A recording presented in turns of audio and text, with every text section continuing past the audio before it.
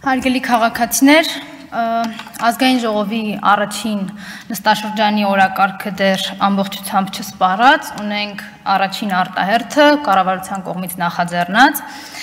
Ըստ էության առաջին քննարկումը պիտի լիներ բովանդակային, որը հնարավորություն կտար ինչ-որ մեկնաբանություններ անել հենց հարցի վերաբերյալ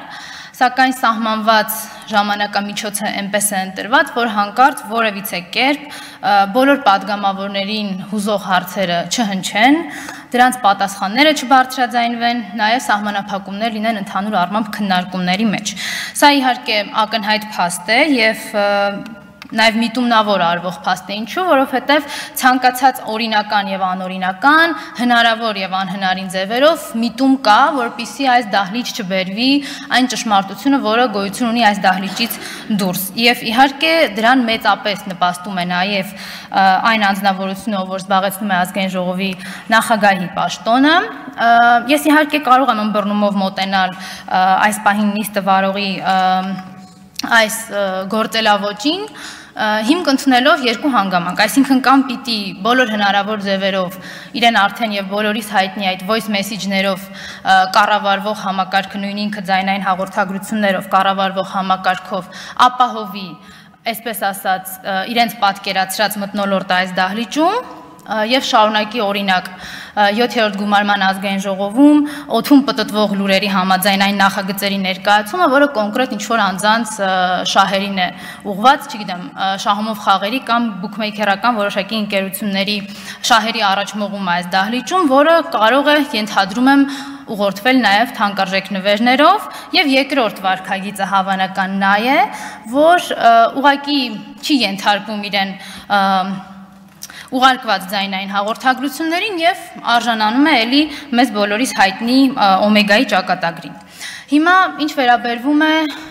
Սևանե լճի հետ կապված։ Ես հնարավորություն չունեցա հարցերս հնչեցնելու, դրա համար երևի այսպես կհնչեցնեմ, եթե հարկ կհամարեք անդրադարձեք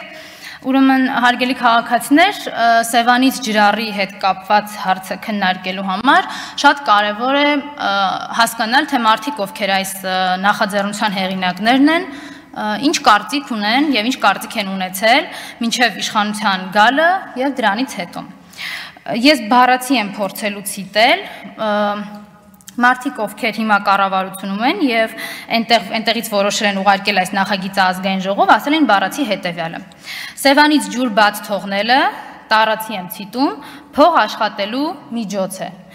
Ինչ է նշանակում սա, այս եւ այստեղ շարունակությունն էլ կա առայն, որ 1 սանտիմետր ջրից 1 միլիոն դոլար գումար են աշխատում։ Ըստ էության Սևանից ջուր բաց թողնվելը դիտարկվում է բացառապես որպես անօրինական փող աշխատելու միջոց։ Հիմա ուզում հասկանամ, այս փող աշխատելու միջոցն է շարունակում, որտեվ ձեր փողը պակասել է, թե այս տրամաբանության մեջ ոնց է տեղավորվում այս հարցը։